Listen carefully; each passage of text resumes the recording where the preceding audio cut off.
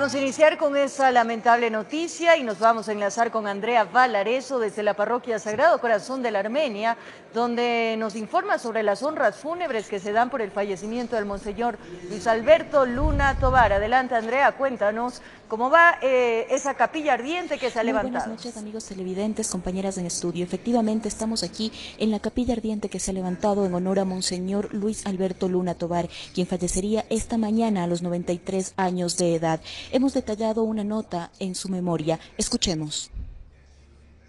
Monseñor Luis Alberto Luna falleció a las 7 y 35 de la mañana de este martes. Así lo confirmaba el cuerpo médico y los sacerdotes que lo acompañaron en la casa sacerdotal en la Armenia 1, en el Valle de los Chillos, en Quito. Eh, se durmió en el Señor. Fue una semana un poco tensa para todos nosotros, acompañado por nuestro cariño, oraciones de los familiares y amigos más cercanos, de los obispos, de los sacerdotes, de religiosos y religiosas del Ecuador.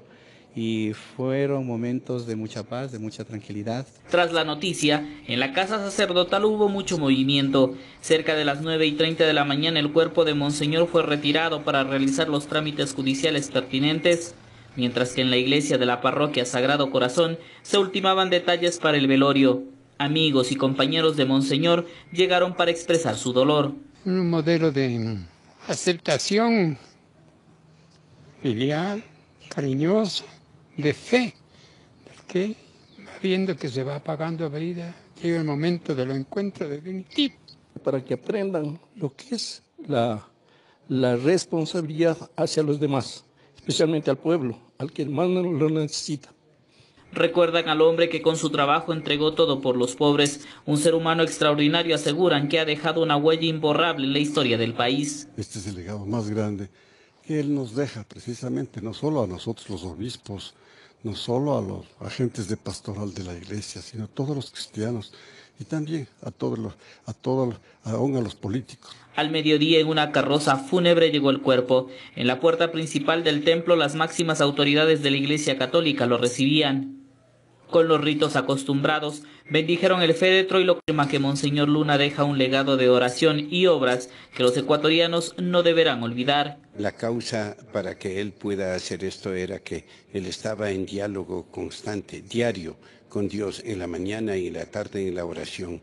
Un predicador incansable y convencido, además muy preparado a lo largo de su vida desde la Así arrancaron las honras fúnebres a Monseñor Luis Alberto Luna Tobar. La conferencia episcopal confirmó que el cuerpo de Monseñor será enterrado este próximo viernes en una cripta en la Catedral Metropolitana de Cuenca.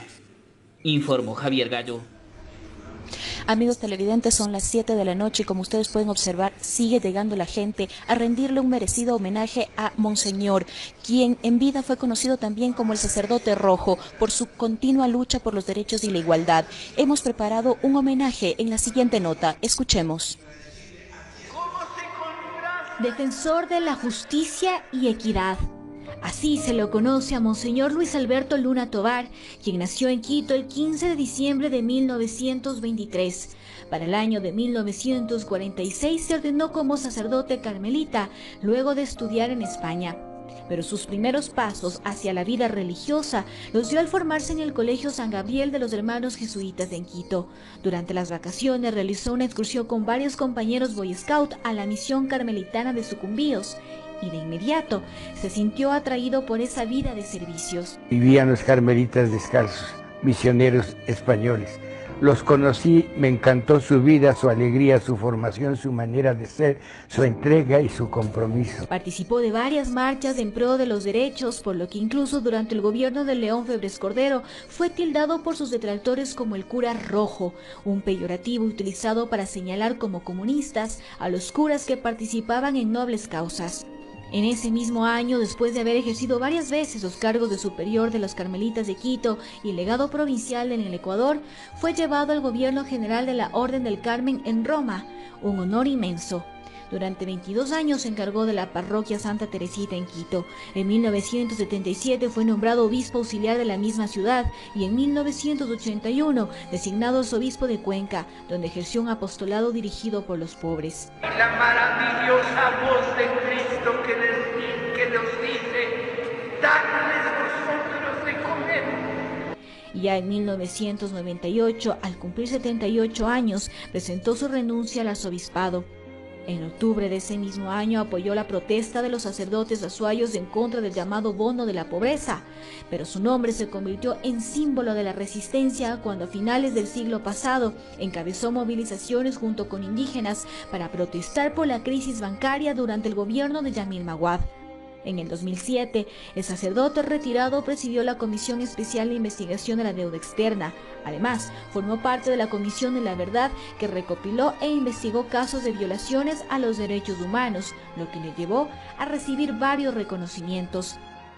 Pero ya en el 2010, Luna Tobar pasó sus días en la Casa Sagrado Corazón de Jesús del barrio La Armenia, ubicada en Conocoto, en la casa de retiro para sacerdotes católicos, hasta este martes 7 de febrero, cuando debilitado debido a una insuficiencia cardíaca severa, la hipertensión arterial aguda y otras complicaciones de salud, el arzobispo emérito de Cuenca, de 93 años de edad, falleció dejando ese legado de defensor de las causas sociales.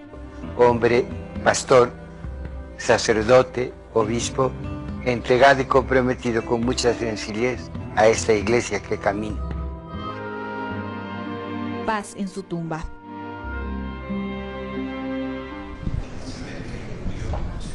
Como ustedes pueden observar, amigos televidentes, estamos aquí en la capilla ardiente de cuerpo presente, donde Monseñor Traves está presidiendo la misa. Aquí también se encuentran personalidades que han acompañado a Monseñor Luna Tobar en sus últimos días y nos contaron que era un hombre muy alegre, muy dulce, que amaba el chocolate y la buena música, que también en vida solicitó ser enterrado en la Catedral de Cuenca. Por eso, mañana 8 de febrero se trasladará su cuerpo a las 13 horas después de la misa que se celebrará en Santa Teresita, una parroquia de aquí de Quito donde también sirvió durante muchos años. Quienes lo conocieron aseguran que su gusto era que en su lápida se escribiera aquí está el que fue. Es la información que generamos al momento. Regresamos contigo María Fernanda en estudios.